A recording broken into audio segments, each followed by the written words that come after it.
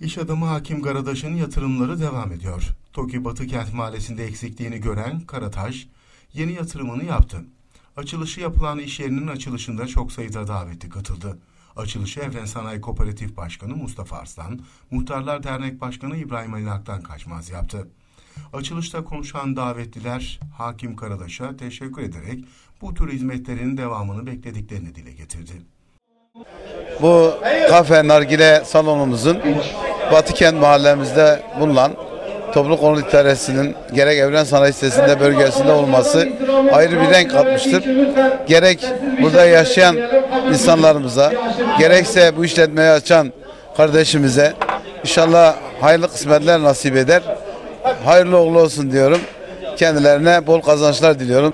Bölgenin böyle güzel bir e, nezih bir mekana ihtiyacı vardı. E, Hakim Karadaş e, abimizi kutluyorum böyle güzel bir mekan açtığı için. Hayırlara vesile olun inşallah. Ee, Bugün e, Hakim Karataş e, kardeşimiz Urfa'ya güzel bir mekan kazandırmıştır. Güzel bir kafeterya. Urfa'mıza hayırlı olsun. Hele ile de böyle bir bölgenin, Tokyo bölgesinin olduğu yerlerde, sanayi bölgesi olduğu yerde bu kafeterya gerçekten e, büyük bir hizmet sunmuştur. Allah kendinden razı olsun. E, Allah hayırlı uğurlu etsin diyelim. buraya gelip ailece oturmak, şahslar, gençler işte böyle insanların böyle yerlere ihtiyacı var. Gönül ister ki diğer insanlar da böyle müteşebbis ruhlu olsunlar. Böyle güzel yerler açsınlar, nezih yerler açsınlar.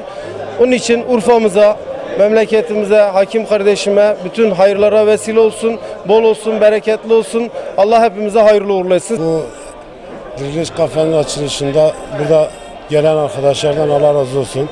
Ha, gelmeyen arkadaşlara da biz yani şimdi ulaşamadık. Bir, bu güzel bir yerde tabii ki gönül isterdi ki bütün arkadaşlarımızı çağırabilmek.